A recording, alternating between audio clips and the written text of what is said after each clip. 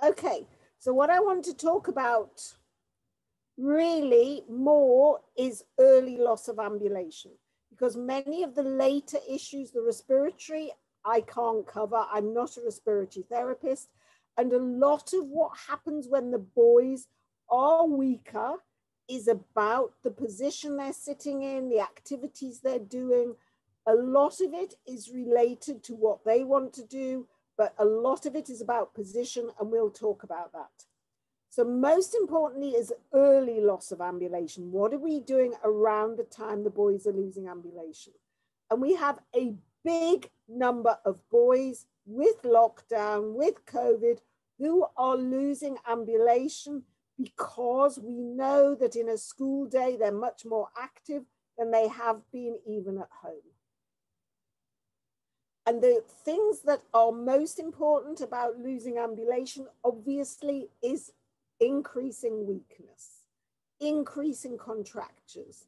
Scoliosis rarely causes loss of ambulation, but falls, injuries, and fractures, as is mentioned in those films, is a big cause of loss of ambulation. Fear of falling, fear of falling and not being able to get up, constant falling, that you're always falling, it becomes unpleasant, it becomes scary. And I never ever underestimate how much fear these boys have when it's getting harder to walk, when just standing up feels so difficult. That fear and motivation really are a big part of stopping walking. And obviously, increasing height and weight, excuse me, will play a big part in losing ambulation. Fractures and the management of fractures will depend where in the bone that it's happened. The most common fractures we know are vertebral fractures, although one would hope that steroid management would prevent that and regular monitoring, but it still happens. Long bones, so the legs and the arms, particularly from falls. Falling onto an arm can break upper arm bone, it can break lower arm bones. We know about legs. And the problems that we have are contractures caused by the position in the plaster, difficulty with surgical fixation, either because the fracture is difficult to fix, but it must be fixed. There is no justification for boys now ever being left in bed or left with a plaster they can't move. Big problem with a leg fracture or an arm fracture is that the boys will lean away from the side of the fracture.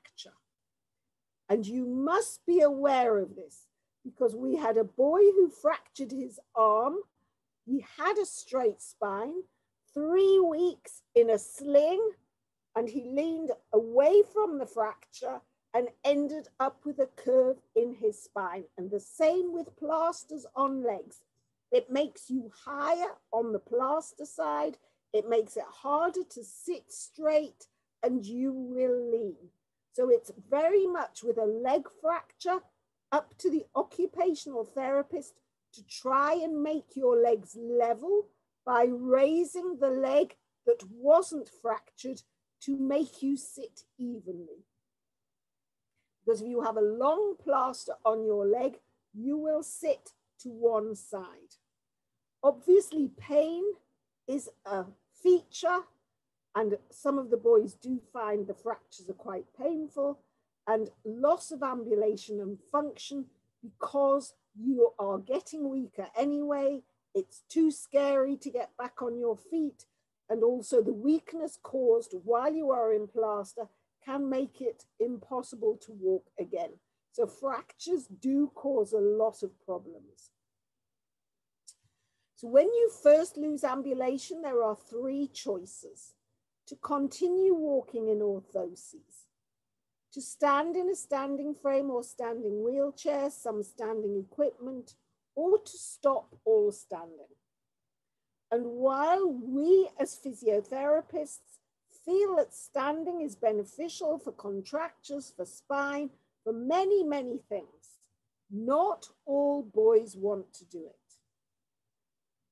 And it is very difficult for a lot of parents to force the boys into standing when they don't want to. it's often easier if there is some sort of facility for standing at school, in a games lesson or in art lessons or in a particular situation where there are other boys with muscular dystrophy or other children in wheelchairs who are standing all together. But you can't stand in a classroom in a standing frame if you're the only child standing up. And it's very hard to constantly be taken out of the classroom if there is all the other children are in the class. So you have to build in standing time that works. And good time for standing time is using Xboxes or PlayStations. And that's when the value of your electronic toys comes in because you can do that in standing.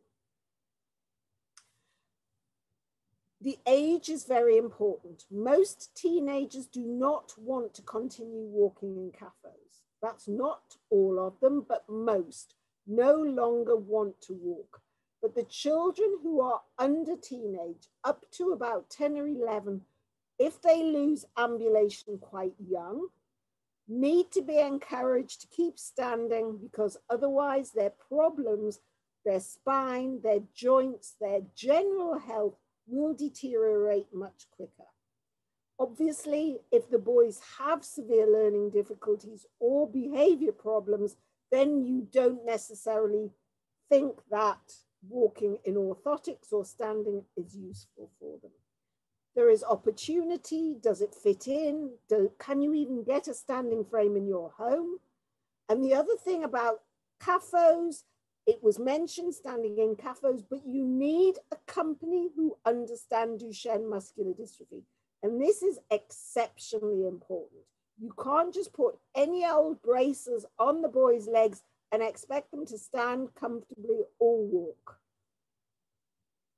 So this is two brothers and the younger one is still using his KAFOs. They are very proud for us to use this picture. Um, both the boys went into KAFOs and both have loved using them. And as you can see, they're both got beautifully straight legs and straight spines. Although the older one doesn't look straight and that's his zip, not his spine. But it helps with joint range. It helps keep the spine mobile. It's a lovely way to exercise and it stops you sitting down all day, which can be in itself a difficult thing to do. But the most important message that you take home from today is just because you have stopped walking does not mean that everything has stopped working.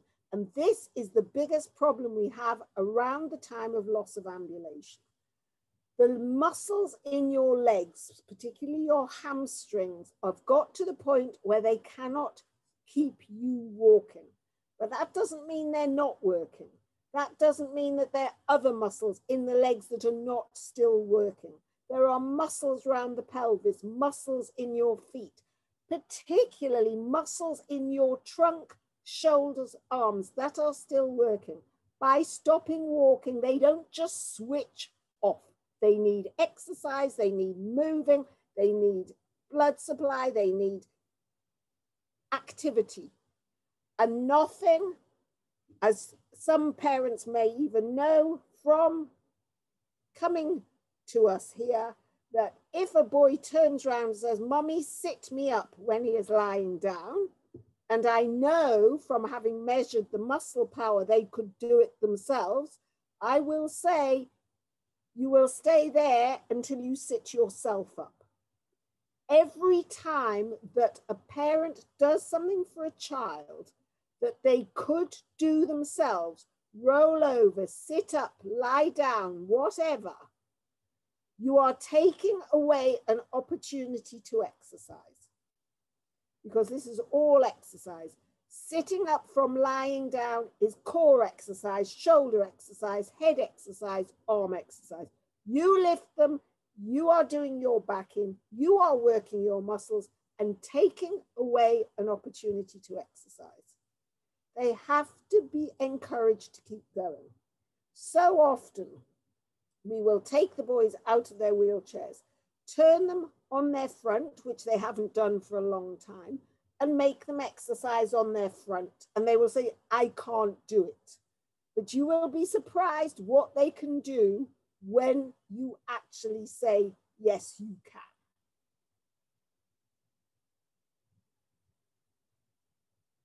Muscle will weaken without exercise. My muscle will, parents' muscle will, everybody's muscle will weaken without exercise. So if you stop exercising, if the boys stop exercising, there are two things going on the deterioration in the muscle from the Duchenne and the disuse atrophy.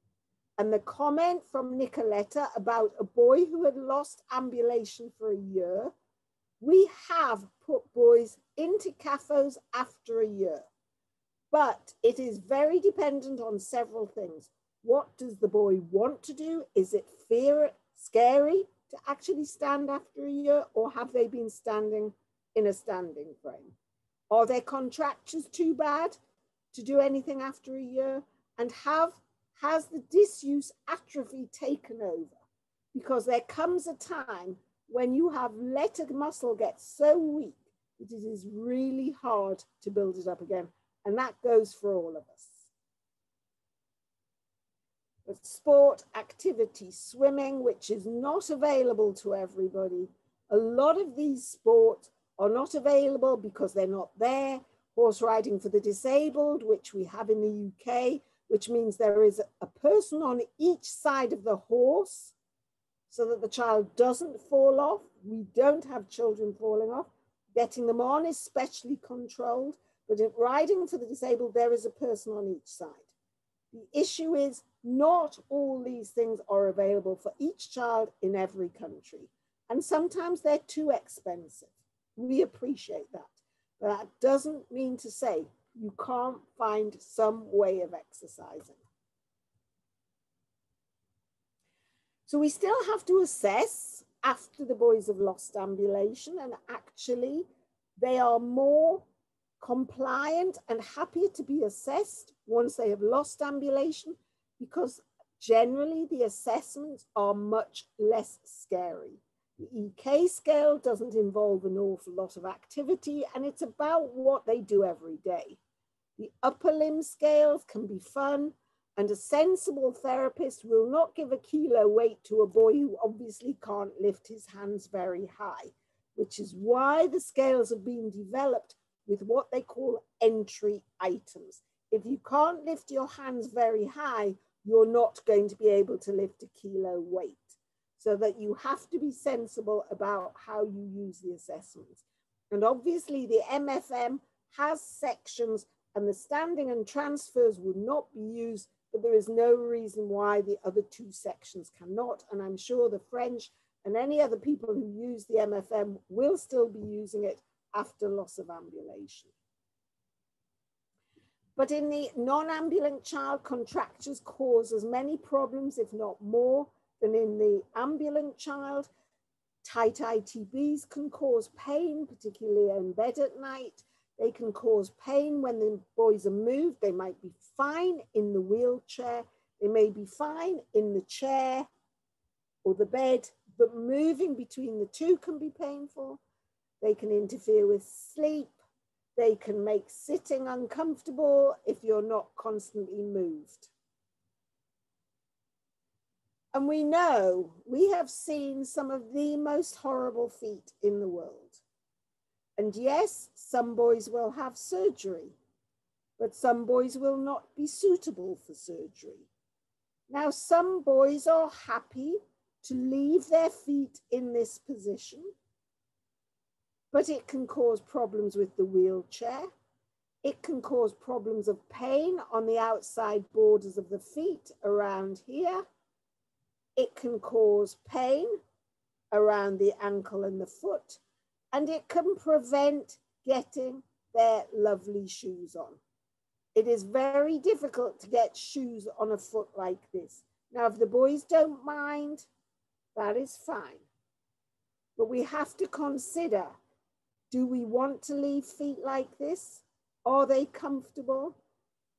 Is this where we're going? Or do we need to manage this before it happens? You cannot manage this any other way but surgery. And I have seen boys with splints that point all the way down, and I really don't understand why. They're not making any difference at all. Tight ITBs will cause difficulty with standing in KAFOs because your legs will be wide apart. But this, when you look at the other picture of the boy sitting down in the wheelchair, what you notice is his feet are twisting. And this is not a problem with his feet. This is a problem with his ITBs. And I know a young man who even now has his legs kept together and keeps your feet. And you can sit yourself, keep your feet still, let your knees fall out, and your feet will twist. And this posture of the feet is a problem of the ITBs. Now, sitting in the wheelchair, you need blocks at the side to keep the knees in the middle. The legs should not be out to the sides because the ITBs will get tighter and tighter, which will cause prob more problems with the feet and a lot of problems in bed. So we can still do active and passive stretches. Sometimes when the boy's limbs are very big, it gets difficult but it can be done through slings, as we'll see later, the same way that the exercises can. It does become difficult to do passive stretching at an older age. It also becomes more uncomfortable for the boys themselves. But if you can find a position that you can do it in comfortably, where you can both do it, then that's okay. But it does, for small parents, for larger boys, it can be really difficult to keep the hips and knees going.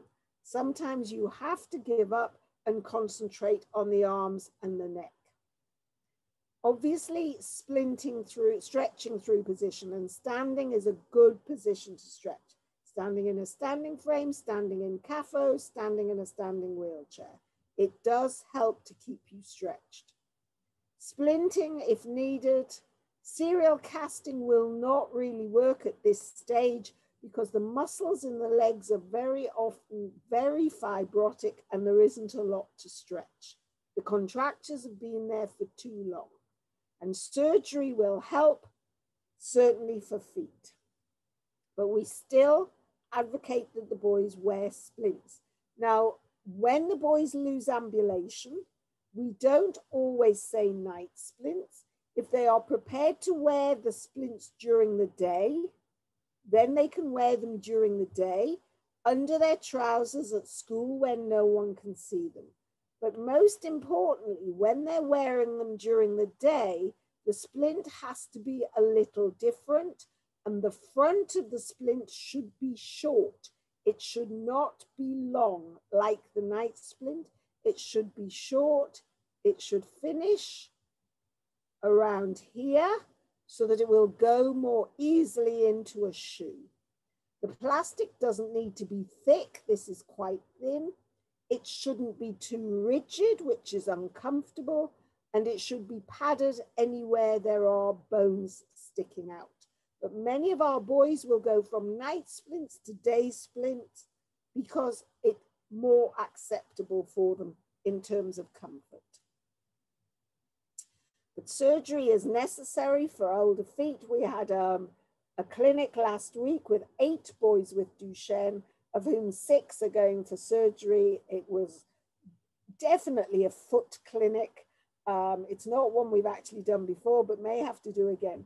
But these are big numbers, and a lot of the boys would not wear splints. And it's a shame because you can avoid some of these problems.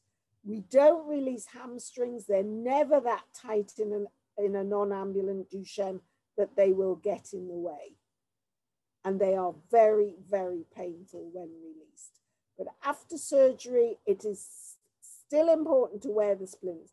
And in fact, when the boys have had surgery to their feet, we warn them they must wear splints afterwards. So the benefits of exercise we know in the non-ambulant boys are good for their heart, their lung, and their digestion. People forget this, that it does help get things moving and it does help with constipation. Obviously, it's good for joints and muscles. It's good for bone health because the more you can put weight through your feet and your legs and get them moving, the better. It's good for fitness, although there is actually no definition of fitness. And sometimes it's good for self esteem and for positivity to do an exercise and feel good afterwards. We know there are many barriers to exercise at this stage. Self esteem may be bad as well as it may be good, or body image that the boys don't like to get into sports gear or swimming gear. There may be parental or other influences that are positive or negative. If parents don't have time to get a boy to a pool, if there's no accessible facilities, it is no good again saying you must do it. There are ideals for every family. Teachers and mentors, therapists. If your PE teacher makes PE accessible and shows an interest and gives you sport or points you in the direction of a wheelchair football team or a power chair football team or a hockey team and finds places for you to go, clubs to do, makes it all accessible, that's a real positive and that will help. Success and results are always important. Again, if you always fail, you're not going to keep doing it. But there are still sports, even pool, even snooker, that the boys can do, and many sports like boccia that they can do. And there are many of the boys that can still throw darts, but be careful where they throw them because you don't want a therapist in the way. And again, it's opportunity, and we can make opportunity or we don't. But no parent and no boy should be made to feel guilty for choosing the lifestyle that works for them.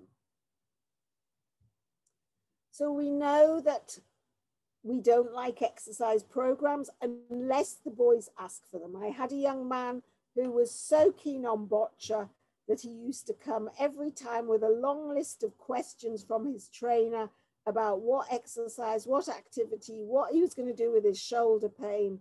So we used to work a lot for that young man on his boccia techniques and his boccia exercises. We need to work the right muscle groups. We can't just work the strong groups. We use something called PNF, which is great exercise for heads. It's this one where we say, don't let me push you, don't let me pull you, stop me pushing you. And it's a great fun exercise that can work for all sorts of parts of the body. We use what we call gravity neutral positions. Working, lifting the arm against gravity gets too difficult, so we work in this plane. We can do sliding stuff. We can do sliding up something. We can do sliding down something. It doesn't have to all be about lifting. We can use slings and the bands. We use the bands a lot as slings and we take the weight of the limbs, the arms and the legs, because once you take the weight of the limb then the boys can move them themselves. You will be surprised what they can do once the weight of the limb is taken. And that's the same principle that some of the arm supports use, that they can move if they don't have to carry the weight. And while everybody talks about the weight of the head, the weight of a leg and an arm can be equally difficult to move. And obviously, whenever possible, exercise in water is still one of the best exercises you can do. Again, how much, how often? It should be every day. It's as simple as that. But then I hate to tell you that all of you in the audience, and I think there's about 208 of you, should all be exercising every day, even if it's walking aerobically, which means not a stroll that's so slow that you don't feel it. But I am sure that a lot of us have to hand, hold our hands up and say we don't exercise every day, except we now have a dog, so we do. So that's another piece of exercise equipment. Not everybody wants one, but it's certainly one way of getting you moving. There are many things that can happen to the spine. And the first thing that we know when the boys are still ambulant, they get this increasing lordosis down here. And the reason that happens is the pelvis is pulled forward by the tight muscles at the front. So they get this increasing lordosis because of tightness and this increasing curve at the back with the growing spine because you have to arch to keep the front of your trunk up. So you start with this lordosis. Then you get kyphosis, which is when you're curving forwards. And that's the posture that so many of the boys are adopting now, this awful kyphotic posture, because everything is done in this position. We know that you can get scoliosis, which is a curve at the back, but we want to look at the pelvis is so important when the boys are sitting, keeping them level and stopping their legs falling out. Because very often when their legs fall out, one may fall out more than the other and pull the pelvis to one side. We need to keep the spine mobile. It's really important that that spine is mobile, that you're not sitting to one side constantly using your uh, sitting where you're writing or using your hand control all the time to one side. And in fact, we are recommending more and more that the boys actually type their schoolwork because it is more symmetrical and less fatiguing rather than curving over when they're writing and persisting with writing that keyboards actually are better for posture. Not this sort of keyboard, but a well positioned keyboard on a desk with a separate screen where the boys are looking at. We want the shoulders level. So often we see the boys like this. We need to look at the neck range of movement. And if the boys are going for spinal surgery, we need to work on those arms. This is prehabilitation because the studies show that the one thing the boys complain about is their loss of arm function after spinal surgery. They haven't lost arm function after spinal surgery. What's happened is you have a tiny little squashed up spine and you can get your hands to your mouth and then somebody sticks a rod in your spine and it's a lot longer and taller and your hands no longer get to your mouth. So you haven't lost arm function, but if you're used to working down here and suddenly you're up here, then things do become harder with your arms. So it's undoubtedly true that arm function is lost, but not necessarily strength. And we need to work on that before surgery. We know about horrible posture. And in fact, if this was a room where I could see you all, I would be complaining about how badly you were all sitting. We need to think about looking after parents. We need to think about what they're doing in the home carrying boys up and down stairs, lifting boys on and off toilets. Again, we know there are families where it's impossible to make changes, but we have to try and help look after our families. We know that there is a lot of technology and support out there these days. There are arm supports, equipment for pastimes and hobbies, many, many things that can be got but it's not available to all families in all countries. Sometimes you just have to get granddad to make something that works. And actually, that can be as effective as some of the very high tech stuff you can buy. So, we need to keep exercise after loss of ambulation. We need to think that splints and KAFOs are still in there and have a role, but you need good people making them. A painful splint is not an acceptable splint. Sport is not only good for you, but can be very sociable. And I know at least one young man who has met his wife through wheelchair football. So there is a lot of positives in getting out there and doing some sport. But to make informed choices for these young men, you need the information. So unless you have the information, you can't make informed choices. And as I have always said, I would not be an expert without the amazing parents and children that I have got to know over 32 years. Thank you.